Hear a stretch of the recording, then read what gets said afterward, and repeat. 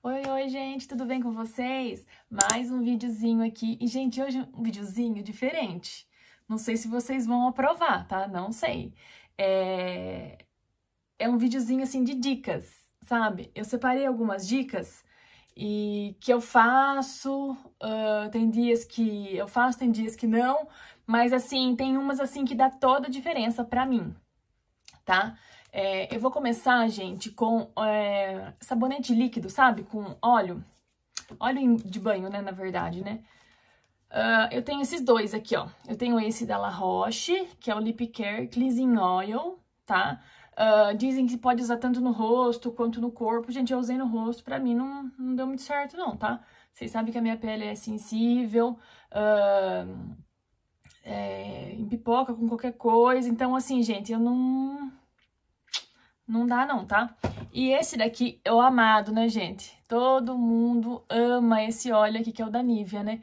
Dizem que ele tá mais caro. Eu nem, nem fui ver o preço dele ainda pra comprar outro. Porque, gente, isso aqui toda mulher tem que ter no, no, no, no box.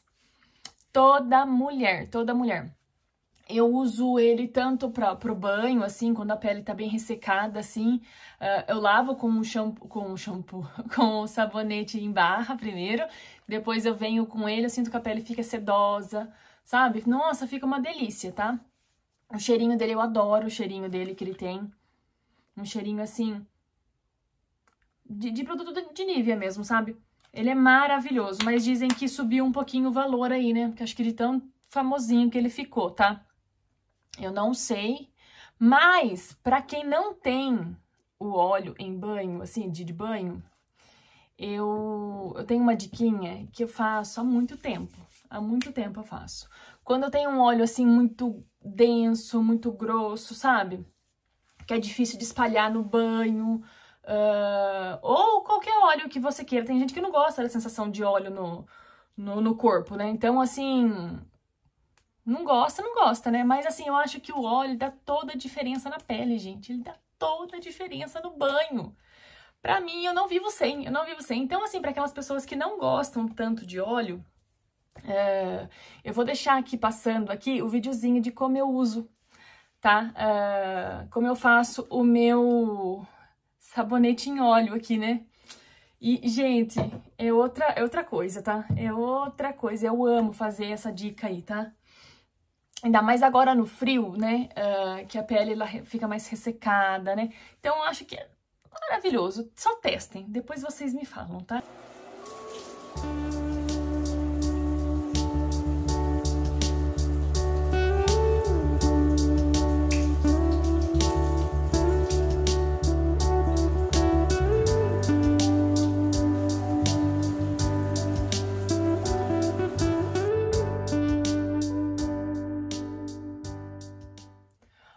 Diquinha que eu queria compartilhar com vocês, bastante gente me pergunta como finalizo a minha franja, como deixo topete. Então, eu fiz um videozinho explicando pra vocês como eu faço, tá? Então, lavo o cabelo, passo um leave né, um protetor térmico na franja, e aí eu venho com uma escova, essa minha aqui, gente, ela é do tamanho... É, o tamanho do, do spray aqui, do, mais ou menos, tá? Mas aí depende do tamanho da franja, né? Uh, depende do tamanho da franja. Então, aí eu também uso esse, esse spray de volume aqui, ó, da Braé, que é o George's, Volume. Aí eu espirro na minha mão, é, passo e passo na minha franja, tá? Então, assim, ó, ela não fica pesada, ó. Vocês podem ver, ela não fica pesada. Não fica com aspecto duro, ó ó, tá? Então, eu venho com a escova, né, pra cá, ponho atrás do cabelo e vou secando, tanto na frente quanto atrás, na frente e atrás, na frente e atrás, tá? Se você tiver o secador com jato frio, o último jato você deixa com jato frio, tá? Eu, meu secador queimou, já falei pra vocês, então eu tava usando aquele de viagem, ele não tem o jato frio. Mas aí eu espero ele secar um pouquinho na, na escova e, e aí eu venho com spray, o spray fixador normal, tá? E taco um pouquinho nele assim, espera um pouquinho, desenrolo e já coloco o bob. Aí você vai terminar de se maquiar, vai fazer o que você tem que fazer e depois você tira, tá? E daí ela fica, ó, com esse voluminho aqui que eu gosto, ó. Eu gosto. Aí dá tanto pra usar no meio, ó. No meio. Ó. Quanto do lado.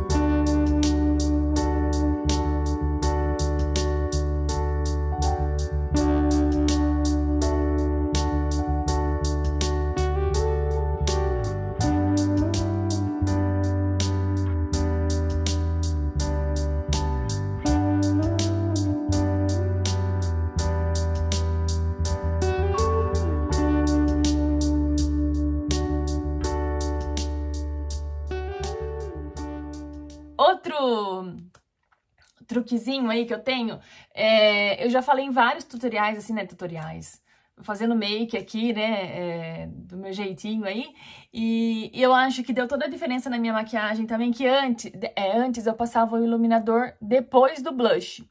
E eu sinto que ele fica marcado, sabe, gente? Não sei. Não sei se é pele madura, eu não sei. Pra mim, eu não gosto, tá? Eu não gosto. E aí, eu vi a dica da, da Estelemos, que é uma maquiadora, gente, que eu amo. Eu amo. Ela tem vídeos aqui no YouTube, tem Instagram. Ela é maravilhosa, maravilhosa as makes que ela faz. E daí, o que, que ela ensina? Ela ensina a passar algum iluminador uh, por baixo, tá? antes do blush e, e depois o blush. Então, daí pode ser um tanto blush cintilante ou blush opaco, que daí ele vai dar um glow, ó. Ó, não fica marcado, eu acho que fica lindo pro dia a dia, ó. Acho que fica lindo, lindo, lindo. Nossa, eu amo, eu amo essa técnica. Aí eu vou deixar passando aí o jeito que eu faço, tá? Mas é super simples, gente, diquinha super boba. Esse vídeo aqui é um vídeo bobo, assim, mas eu amo. Eu amo.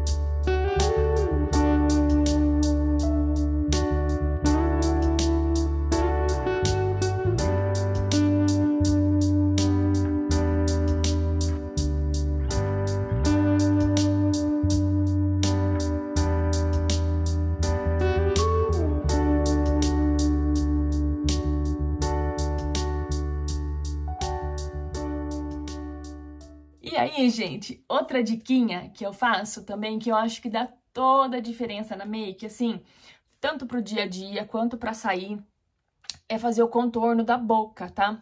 Uh, às vezes eu não quero um contorno tão marcado com um lápis, uh, sabe? Que fica mais, né, o lábio projetado, né? Mais assim, mais noite, né? Eu acho, né? Dependendo da cor do lápis, enfim. Nada que não dê pra usar de dia, tá, gente? Não tô falando isso, tá? Mas, às vezes, a gente quer uma coisa sutil, assim, né? Que nem eu tô com uma makezinha super leve hoje. Super nada, assim. E...